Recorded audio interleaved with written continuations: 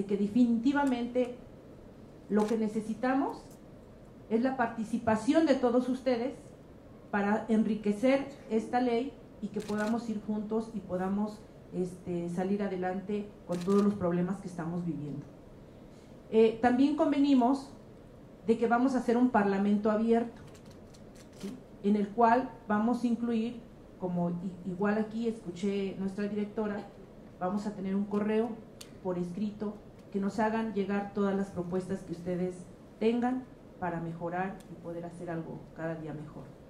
Eh, no sé si mi tiempo esté bien, me decía que creo que va a haber dos intervenciones, pero si no, eh, sobre las mesas que, nosotros estamos este, trabajando, hubo varias cosas que sí quisiera leer y, resumir, el resumen de las mesas en lo que ahorita vamos. Hoy tenemos la última, vamos a estar en coordinación con CONACIT para también aquí recabar toda la información para poder así conjuntarla y entonces sí este, emitir la ley que corresponda, eh, consensada desde luego con el Senado, que me da muchísimo gusto que esté aquí nuestra senadora Beatriz Paredes. Sé que eh, a pesar de que dice que está su sector es la agricultura, pero yo sé que ella ha impulsado mucho también la ciencia, así que ahora es la presidenta en el Senado. Voy a leer algunas conclusiones de las mesas que tuvimos y un punto muy importante era la necesidad de contar con un diagnóstico como punto de partida para poder hacer las adecuaciones necesarias al marco jurídico. Por eso este diagnóstico, que lo escuché en la primera mesa, es fundamental, porque de ahí podemos partir para, para seguir adelante. También eh, se debe partir de lo ya construido y lo que sí funciona, porque si bien es cierto que hay cosas que no han funcionado, pero también hay que decir que hay muchas cosas que sí han funcionado y que en muchos lados vamos bastante bien. Se debe lograr con lo ya establecido en la ley vigente respecto a la aportación del 1% PIB para ciencia y tecnología. Hace ratito comentaba, no tan solo el 1%, el 1% ojalá fuera el 1.5%. ¿no? El marco jurídico debe ser necesariamente garantizar la libertad de la investigación.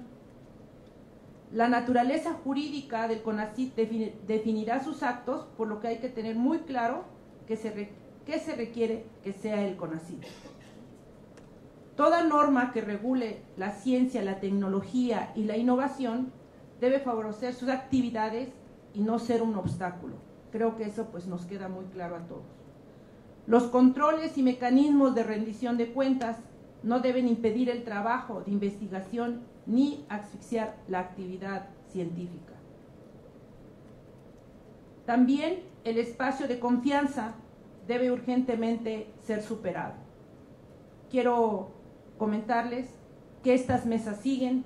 Mi mesa este, que yo tuve fue eh, cómo la inversión privada puede aportar a la investigación y a mí me llamaba mucho la atención que aquí en México la aportación a la investigación, el 80% lo pone el gobierno y el 20% lo pone la iniciativa privada.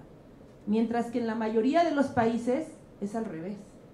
El 80% lo pone la iniciativa privada y el 20% el gobierno. Entonces hay que analizar muy bien y con la ayuda de todos ustedes, yo creo que hay que ir viendo y ir avanzando en este tema para que también la iniciativa privada este, se involucre más y haya ese vínculo que he escuchado, creo que de todos los ponentes, de todos los investigadores, que tiene que haber ese vínculo entre los investigadores, la industria, la academia, CONACYT y el poder legislativo. ¿sí? Vemos constantemente muchas publicaciones de muchos investigadores. Y yo quiero comentarle que soy del estado de Morelos y, y en el cual tenemos ahí 2.000 investigadores, 45 centros de investigación. Y sí, de alguna manera, quisiera que esa investigación aterrice resolviendo los problemas de la comunidad. Y creo que todos sabemos los graves problemas que tenemos en todo México. Ojalá que podamos nosotros como Poder Legislativo ser el vínculo y podamos trabajar en conjunto. Muchísimas gracias.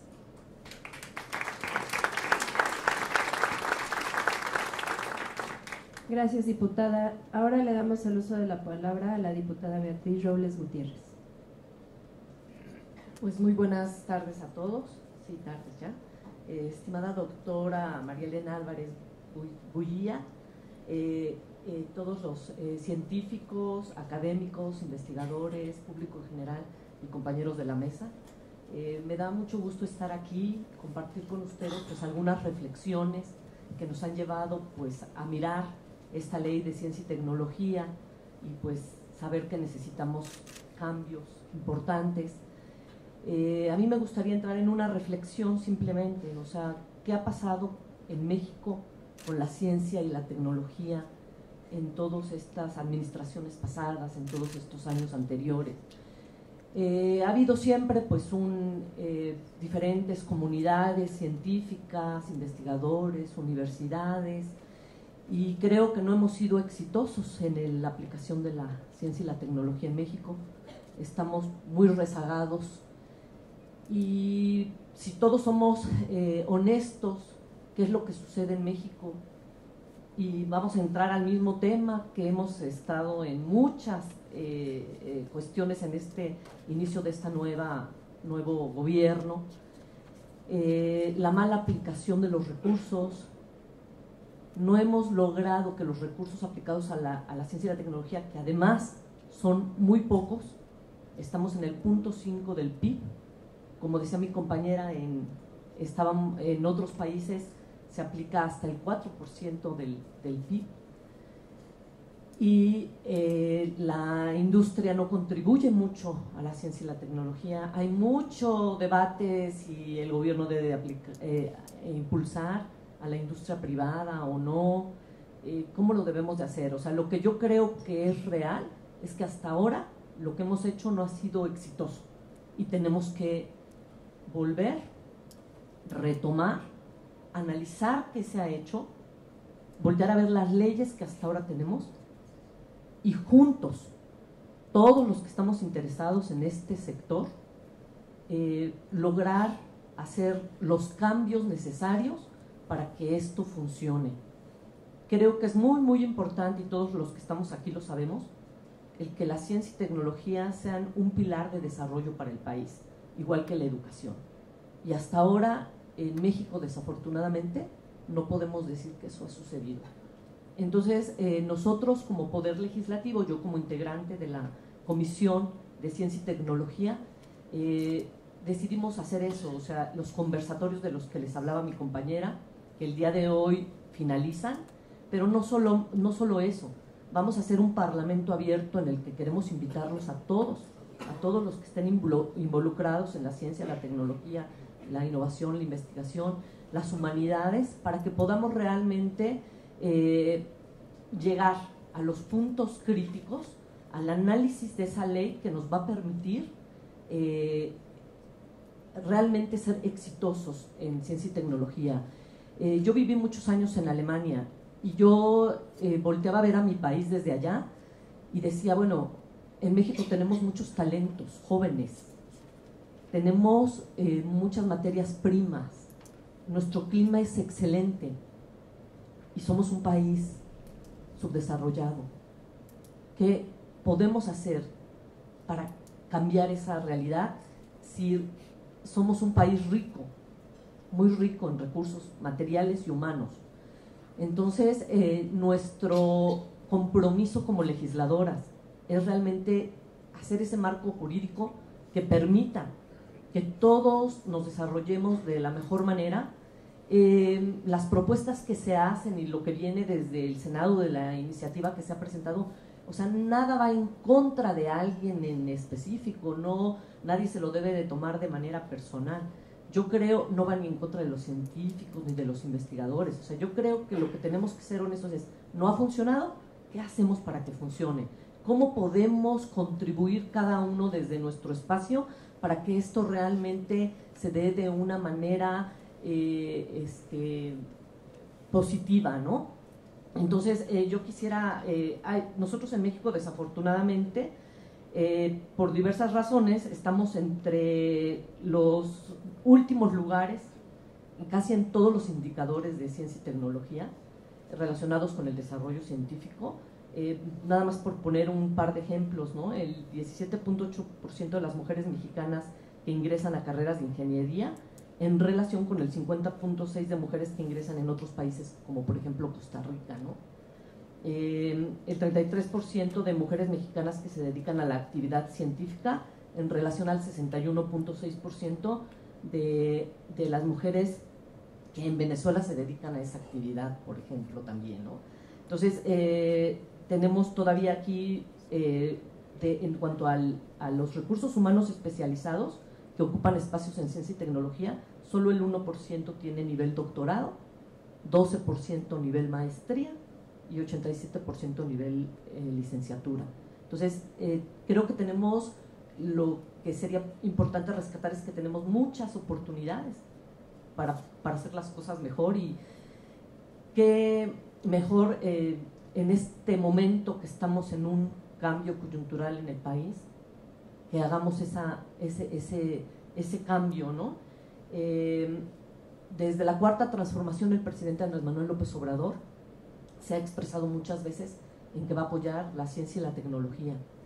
Y es nuestro deber eh, a todos los que estamos eh, participando en esta transformación, pues poner las, los, los, las bases para que esto se, se dé, ¿no?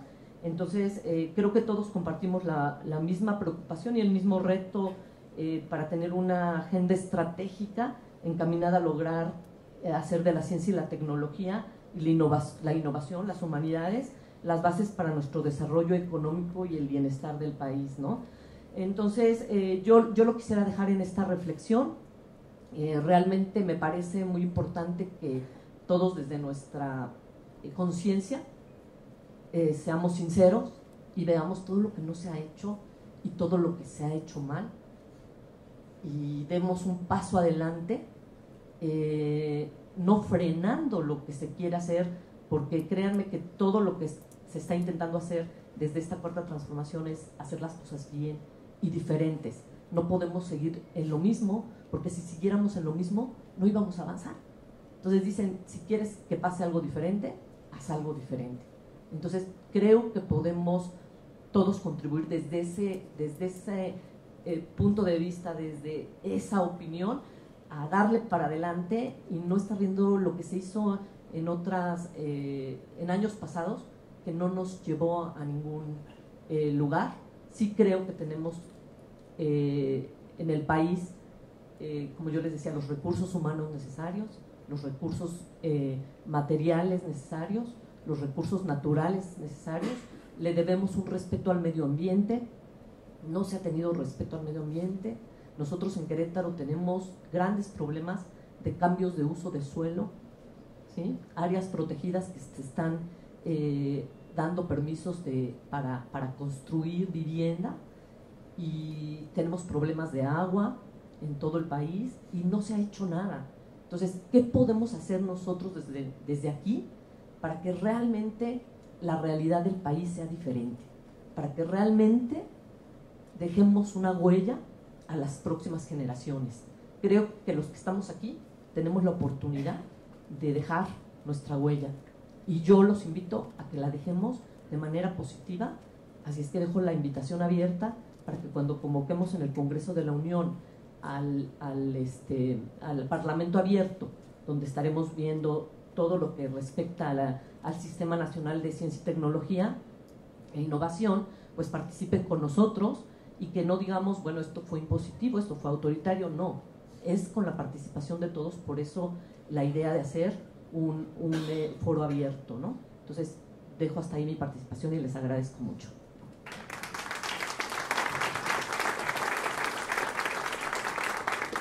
Agradecemos a la diputada Beatriz Robles y a continuación eh, cedemos el uso de la palabra al doctor John Ackerman.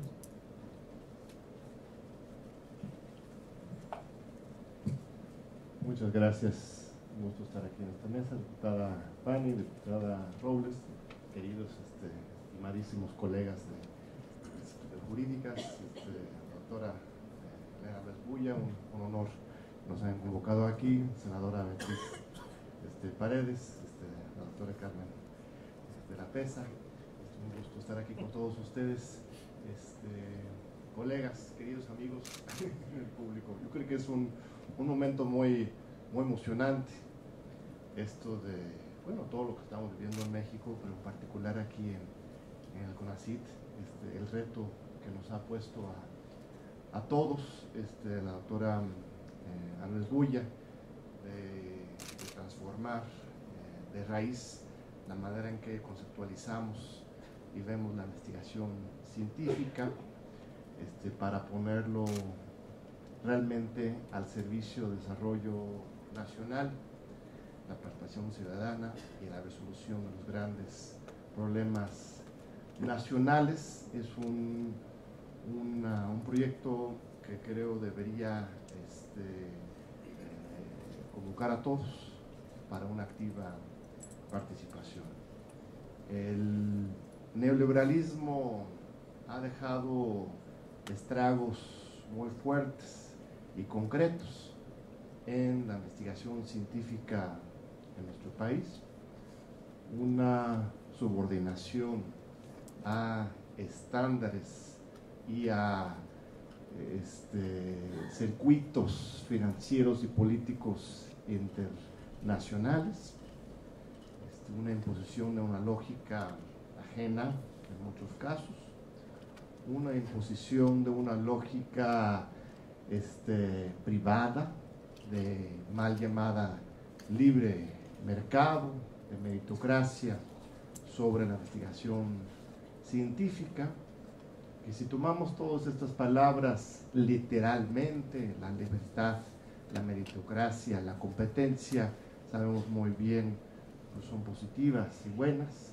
El problema es el uso faccioso y como cortina de humo para un proyecto específicamente de, este, desviar los recursos y las atenciones de la investigación hacia intereses que no son los del pueblo mexicano. Sobre todo porque en México tenemos un legado muy fuerte, un compromiso muy claro con la educación pública, con la investigación pública y con la rectoría del Estado en la materia. Nuestras grandes universidades son las universidades públicas, hay respetables y importantes escuelas privadas, pero este, no hemos llegado al extremo en decir que, como en los Estados Unidos, que Harvard y Yale y Stanford son las las mejores universidades del, país y del mundo, ¿no? Pues aquí tenemos a nuestra UNAM y a todas las otras universidades públicas de los estados y del mismo CONACIT. Seguimos desde nuestra propia cultura política e institucional con un gran compromiso y una idea y una claridad con respecto a la necesidad de la rectoría del Estado en este tema de la investigación y nos damos cuenta que esto no es control, esto no es censura, esto no es este, una falta de libertad verdadera, sino justamente lo contrario.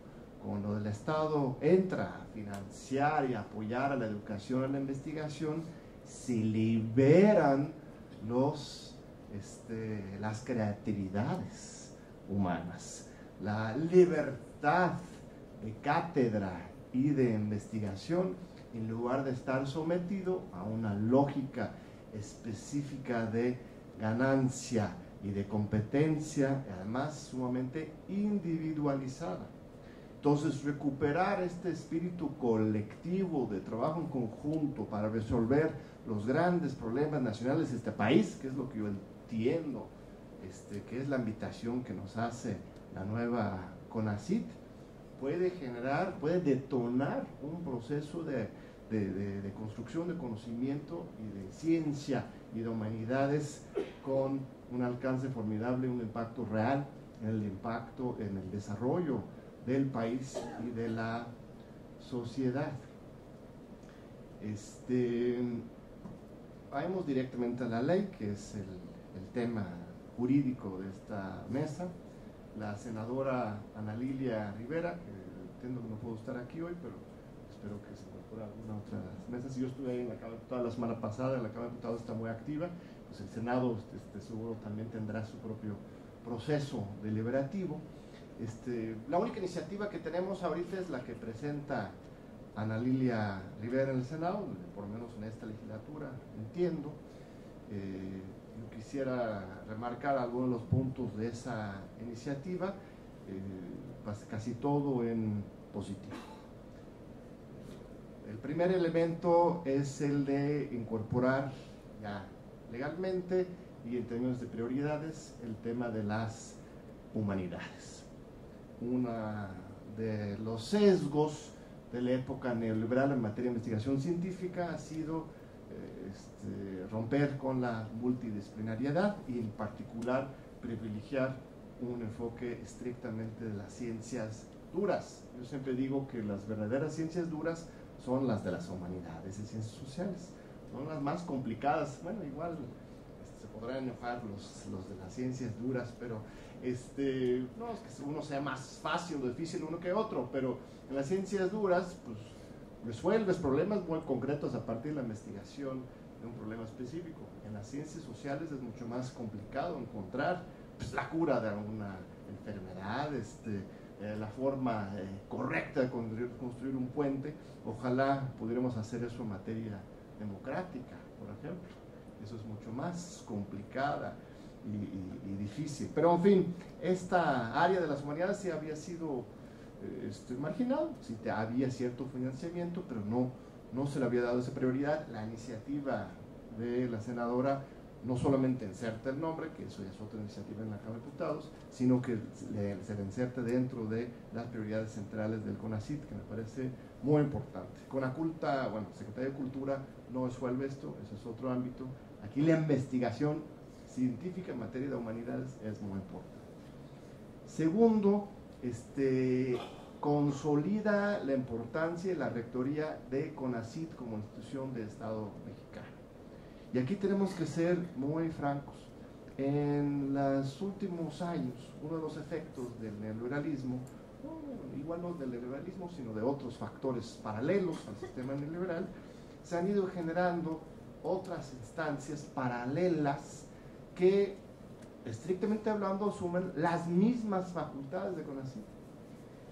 El Consejo General de Investigación Científica, Desarrollo Tecnológico e Innovación, por ejemplo, yo celebro su existencia en teoría.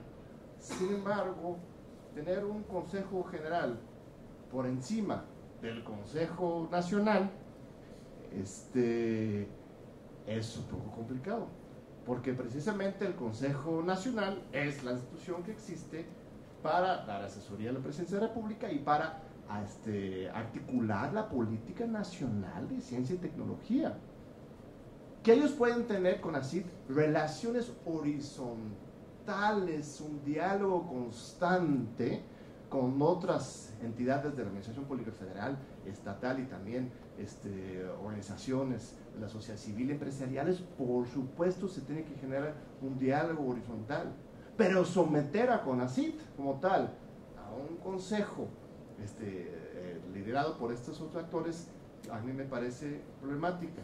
La iniciativa de la senadora justamente recupera la presencia de CONACIT en este, este arquipélago, este, este sistema de investigación, dándole su lugar de este, rectoría en esta materia. Eso no quiere decir autoritario que decida, que investiga todo el país, no, sino simplemente dirigir estratégicamente la política en la materia.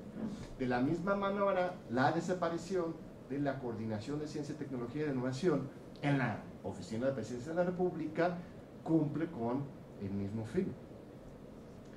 El Foro Consultivo Científico.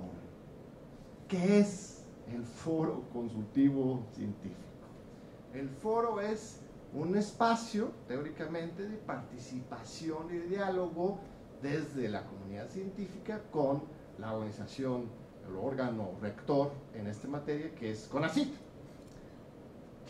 otra vez, este foro, por supuesto que tiene razón de ser, así como todas las asociaciones de las academias de científicos y de investigadores en ciencias humanidades. Pero CONACIT y el erario público debería ser responsable de financiar en su totalidad un foro que supuestamente pertenece a los investigadores. Y en muchos momentos en que este mismo foro empieza, empieza a suplantar estas mismas facultades de rectoría en materia de ciencia y tecnología, es pregunta. Yo creo que desde el Estado, por supuesto, debería apoyarse a organizaciones de la sociedad civil que tienen intereses comunes, otra vez establecer diálogos horizontales, tomar en cuenta y hacer una verdadera participación, pero no tenemos que estar este, permitiendo que las instituciones del Estado sean suplantadas por esas organizaciones y tampoco tenemos que responsabilizarnos como Estado a financiar y mantener estas agrupaciones. Yo sé que es un tema polémico, pero lo pongo en la mesa y este, entiendo que esto es para discutir y debatir. Lo público y lo privado. Ya hemos hablado.